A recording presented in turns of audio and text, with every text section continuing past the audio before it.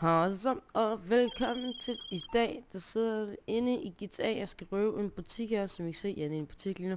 Det er, det er en how-to tutorial på, hvordan man røver en butik med en bad, eller ikke en Betty, en Factory Sport der. Uh, det, jeg tror butikken er ved at lukke, det er derfor vi starter ind i butikken. Ja, fordi det er ved at blive nat, men vi skal ellers bare i gang med at røve.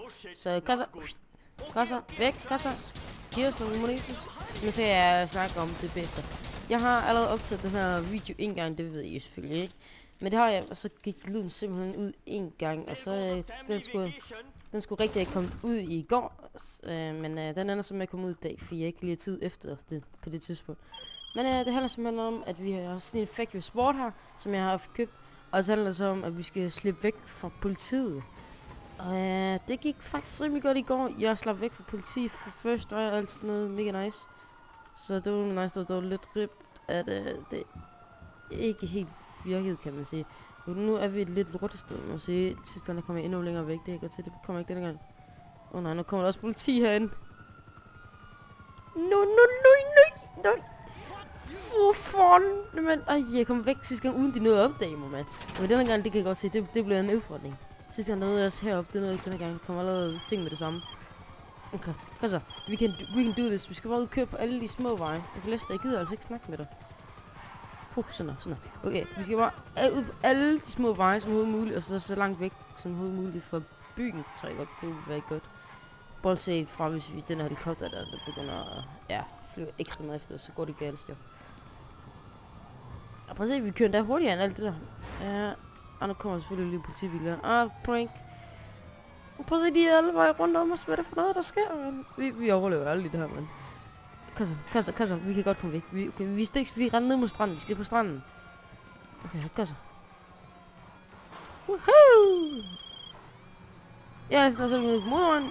Spiseklasse. Øj, lige nogle kaktus. Gør ikke selv ondt. Okay, nu skal vi... Ja, jeg gider køre på dig, Lester.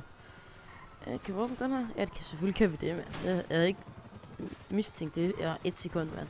Det er jo isbis den her. Vi skal bare lige væk, for nu er der kun en helikopter der efter os. Altså. Okay, kan vi godt lige tage lidt ekstra midler af tøj, om vi kan. Okay, så den der, der skal lige skifte over den her. Og så siger vi hej med dig. Okay. Sådan der. Bare lige sådan til, vi har en chance jo. Altså, det, den der helikopter, den var lidt irriterende. Det var der. Det koster dog lige sådan alt for mange penge, det der jeg lige kom til at fyre afsted, der synes jeg. Men der har været sådan noget, hvor man, hvis man var på et bestemt altså et stykke tid, så øh, fik man, eller hvis man inden for et eller andet tidsperiode, så fik man nogle øh, penge. Øh, der stod, at man fik 250.000, jeg fik mere end det, så jeg sådan var lidt skeptisk over det. Jeg fik 1.350, så det er rimelig crazy. Okay, vores dæk, vores sårdæk, det er blevet skudt, så vi kan klare at køre, så det er ikke så lækkert. Og nu, nu, nu har de omringet os, nu har de omringet os. Nu, nu, nu, kom nu væk fra politiet, nu, nu, nu. Nej, vi var så tæt på. Vil det få noget? Ej. Jeg kommer aldrig væk fra politiet, jo. Altså, mit fordæk også smadret. Jo, jeg tror godt, vi kommer væk fra politiet, ikke? Nu skal jeg se her. Nu skal jeg se, hvordan man kommer væk som fra politiet på en ordentlig, hvis man er en rigtig mand. Så skal I se, hvordan man kommer væk på politiet. Det er det easy peasy. Ej, Lester, han ringer til mig. Hvad vil han, mund? Ej, det ved jeg, jeg ved ikke. Og sådan, åh, oh, jeg tror, jeg kommer væk fra politiet. Mm, easy peasy, vi er væk fra politiet. Nå, det er da lækkert nok. Men prøv at se, øh, jeg lavede til den her video selvfølgelig, den er video der, øh, og der købte jeg også, der fik jeg tunet den og det Så nu har jeg faktisk allerede gjort alt det, jeg ville med den og sådan noget, men jeg kan lige vise jer, hvad jeg gjorde. Øh, den har helt normalt orange farve, og så har jeg sådan en sunrise orange rød halløj noget, som der er sådan som secondary farve bare, altså den bare sådan, og så har jeg kunnet med Indian halløj noget. Jeg tænkte ikke, at jeg har brug for at, at kunne bulletproof øh, hjul, men det kan jeg godt se, det går lidt galt, hvis man ikke gør. Så nu kører jeg uden hjul nu. Så det er lækkert, må man sige. Oj, vi skal lige ned til vores hus hernede, jo. Så ender jeg faktisk også rundt i, hvordan er det min, min ting stod. Så det synes jeg også, I skal, det var, I skal se. Så nu skal I lige se verdens bedste stunt til mit hus her. Øh, okay, det havde jeg ikke regnet med. Vi kommer i træet, hvad What the fuck? Nå, øh, nu render vi rundt med den her, det kan vi ikke have. Sådan her. Så lige væk med den. Og så på med den her. Sådan. Og så skal vi bare lige herned. Skide smart. Så en mos. Og så kan I se min nye setup. At, hvad jeg, hvordan det hele er blevet sat op. Så det er nice. Jeg, what the fuck, blev min hjul automatisk rep repareret? Nej, okay. Men jeg satte sådan min bedste bil herover, så sådan min anden bedste bil herover, Den har farvet orange også. Jeg synes ikke, det ser så pænt ud, men det skal være orange. Så jeg var sådan, den her, og den har min nye Betty her, eller ikke Betty, min Betty der og min nye Faccio her. Der, der, var jeg sådan lidt skeptisk over, hvad, hvad nu, øh, hvad, hvilken var bedst, så jeg tog bare min Betty derovre, for den har jeg kørt på en, øh, mest indtil videre. Det er slet ikke fordi, at den ene den er meget bedre end den anden, det er sådan meget ligebyrdes. Så har vi den her, her min, den her, som jeg godt kan lide lolle lidt på, og så har vi den her anden, en helt almindelig Faccio. Og det, hvor man køber om, det er herinde i øh, det her travel noget. Så her, så til efter prisen, så kan jeg se, den normalt fik koster 5.000. Og så skal vi lige et stykke ned til cirka her omkring.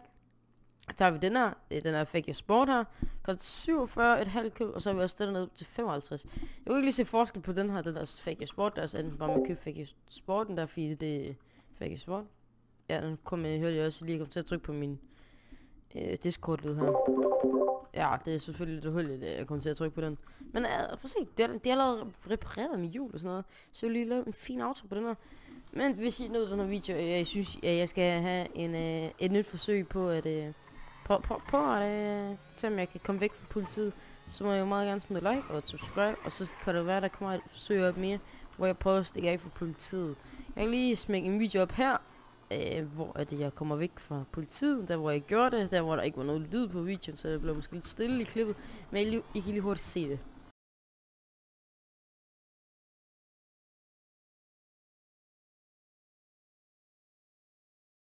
Ja, ja, man er ikke helt ordentligt, er man simpelthen ikke. Men det var også alt for denne video. Hvis I nød den, så vil I meget gerne smide et like.